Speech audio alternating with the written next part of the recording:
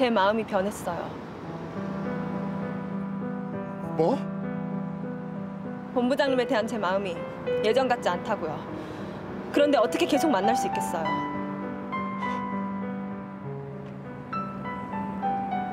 너 참 쉽게도 말한다. 사람 마음이 어떻게 하루아침에 그렇게 변해? 나에 대한 네 마음이 그렇게 가벼운 거였어? 네, 그랬나 봐요.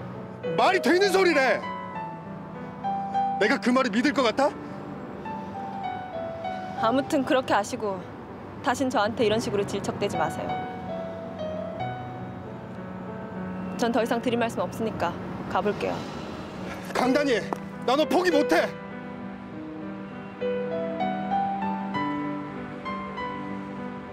너만 끝나면 다야. 내 사랑이 그대로인데 어떻게 내가 너하고 끝내?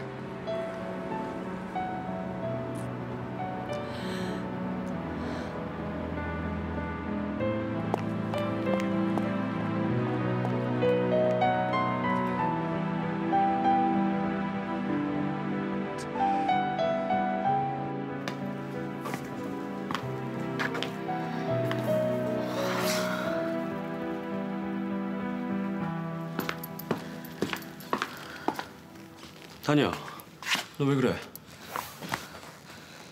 말해봐, 무슨 일이야? 저 지금 본부장님이랑 얘기할 기분 아니에요. 너 설 본부장이랑 문제 있지? 말해봐, 둘이 싸웠어? 설 본부장이 너한테 프로포즈 한다고 들었는데 어떻게 된 거야? 네가 안 받아준 거야? 그만 가보겠습니다.